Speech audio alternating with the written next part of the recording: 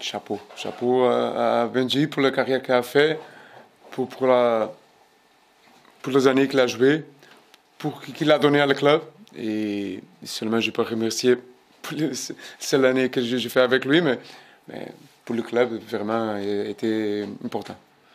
Euh, j'espère que oui, que le, stade va être plein de supporters pour Benji et pour l'équipe, pour célébrer aussi la, la, saison de l'équipe. Je pense que l'équipe, tous les joueurs ont mérité quelque chose euh, très très fort. Très très fort pour la saison qu'ils ont fait. Hein. Terminer avec 73 points, que c'est ça que nous avons pour demain. On espère gagner le match et faire 3 points, de plus. Et terminer avec beaucoup d'émotions pour ça. Et après, commencer sous notre tête avec autre chose. Mais pour demain, on va entrer sur le match seulement avec une idée, seule idée, gagner le match. On va respecter le championnat. rien, rien à voir avec euh, notre adversaire.